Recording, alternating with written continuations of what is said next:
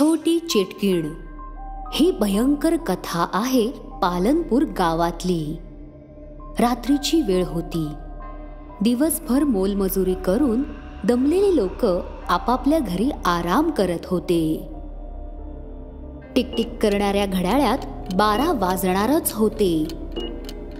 तेवढ्यातच जसे घड्याळ्यात बारा वाजले अचानक पूर्ण गावात एका छोट्या बाळाचा रडण्याचा आवाज ऐकू येऊ लागला.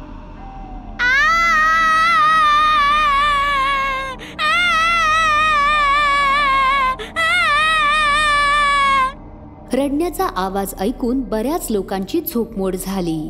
पण खूप दमल्यामुळे कुणाचीही बाहेर येऊन बघण्याची अजिबात इच्छा नव्हती. बाळाचा सतत रडण्याचा आवाज येत होता आणि मन हेलावत होता. शंभू नावाचा ट्रक ड्रायव्हर आरामात झोपला होता. लहान बाळाचा आवाज ऐकून तो सुद्धा जागा झाला होता. अरे एवढ्या रात्री कोणाचं पोरग रडतंय? आणि तेही एवढ्या जोर जोरात काहीतरी अडचण आहे. मला बाहेर जाऊन बघितलंच पाहिजे. शंभू रात्री बाहेर येऊन बघतो तर त्याला रात्रीच्या अंधारात काहीच दिसत नाही. आज तर अमावस्येची रात्र आहे. बाळ पण शांत झालं आहे. आता कळणार कसं मला की कुठल्या दिशेने जायचं परत बाळाच्या रडण्याचा आवाज ऐकू येऊ लागतो आणि शंभू त्या दिशेने जाऊ लागतो. चालत चालत तो गावातल्या चौकात येऊन थांबला. शंभूच्या पुढे एक साडी नेसलेली बाई डोक्यावर पदर घेऊन चेहरा लपून खाली बसली होती. ओ बाई तुमचं पोरग रडतंय का? त्या बाईने आपली मान उचलत शंभूकडे पाहिलं आणि शंभूला घाम फुटू लागला कारण त्या बाईचा चेहरा एका छोट्या बाळाचा होता. तिचे पाय उलटे होते आणि ती बाई एक चेटकीण होती. चेटकीण चेटकीण. जोर जोरात हसू लागली. तिचं हसणं सुद्धा एका छोट्या मुलीसारखं होतं. शंभू तिथून पळणार तितक्या चिटकिणीने शंभूला पकडलं. आणि त्याला ओरबाडून स्वतःच्या अणकुचीदार सुळ्यांनी त्याचं रक्त पिऊ लागली. चिटकिणीने शंभूचं रक्त संपवून त्याला मारून टाकलं आणि तो जमिनीवर पडला.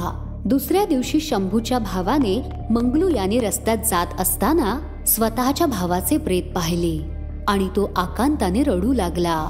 बघा गावकऱ्यांना माझ्या भावानं मारलं कोणीतरी. माझा शंभू मेला. मंगलूचं रडणं ऐकून बरेच गावकरी तिथे जमले. आणि सगळे चर्चा करू लागले की शंभूला कुणी मारलं असेल? अरे कोणी मारलं असेल याला?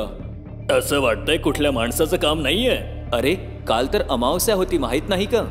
आणि काल रात्री एक बाळ पण जोर जोरात रडत होतं. म्हणजेच गावात नक्कीच काहीतरी अघटित घडत आहे.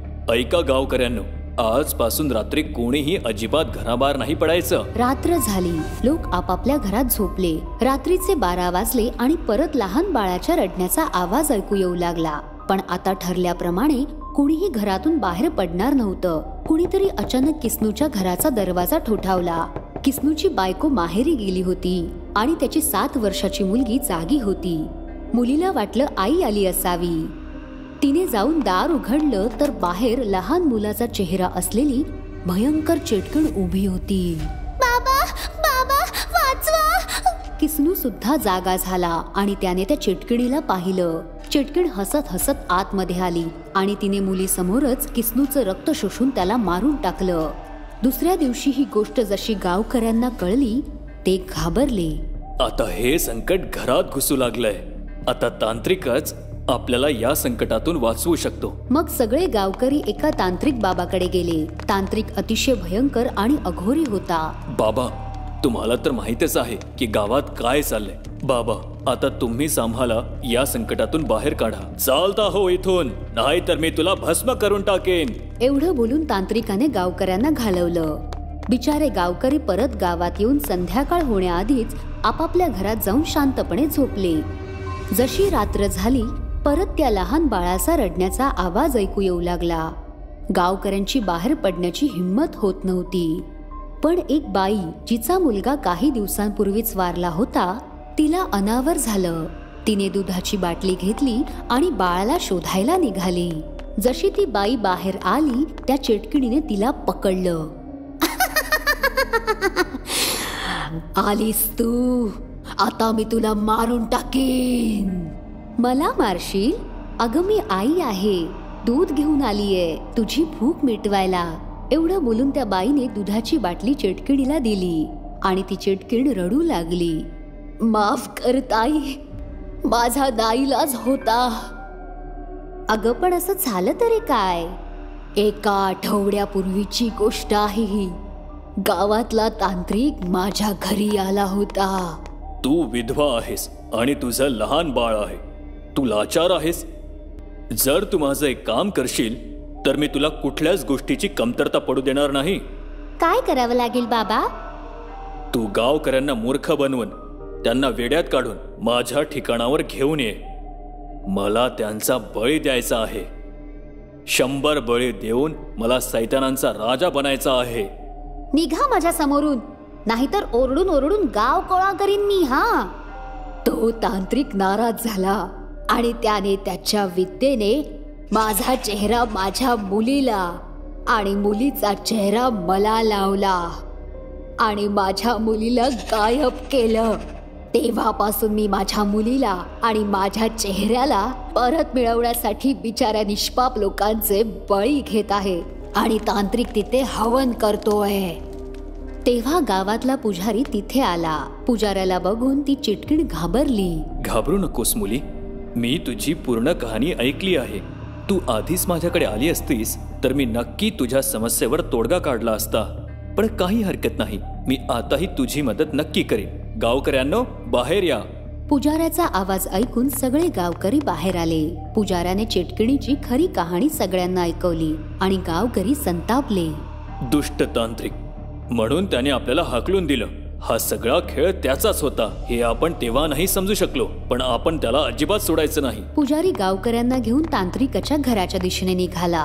तांत्रिकने घराच्या खिडकीतून गावकऱ्यांना येताना पाहिलं आणि तो घाबरला. खबरदार जर कोणी मला हात लावला तर मी त्याला माझ्या तंत्रविद्येने भस्म करून टाकेन. हे ऐकून पुजारी पुढे आला. अरे तांत्रिक महाराज तुम्हाला कोणी म्हटलं की आम्ही तुमच्यासारख्या दुष्ट माणसाला हात लावून स्वतःचे हात घाण करू?